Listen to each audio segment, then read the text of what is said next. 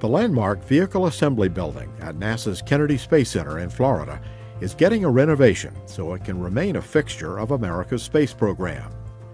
After almost five decades stacking and processing Saturn V's and the Space Shuttle fleet, the VAB needs improvement on a grand scale to service new launchers expected to debut in the next few years. The new designs include the Space Launch System, a massive rocket intended to return astronauts to deep space. The building also will be set up to host commercial rockets that are much smaller.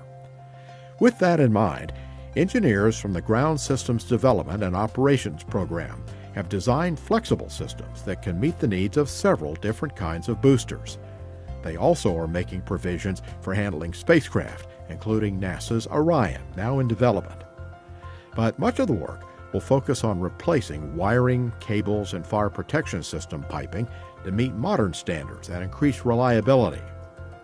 Already, 70,000 feet of cabling have been pulled out of the building's cable trays.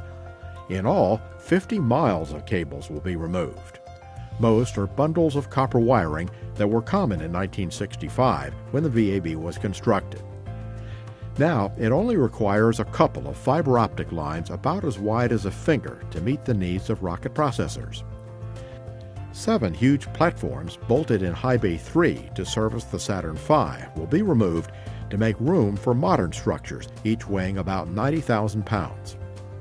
The new platforms will be outfitted with everything required to process a rocket and spacecraft the focus is to upgrade the VAB for a new generation of launchers and missions to allow NASA and its partners to continue to meet national goals of space exploration.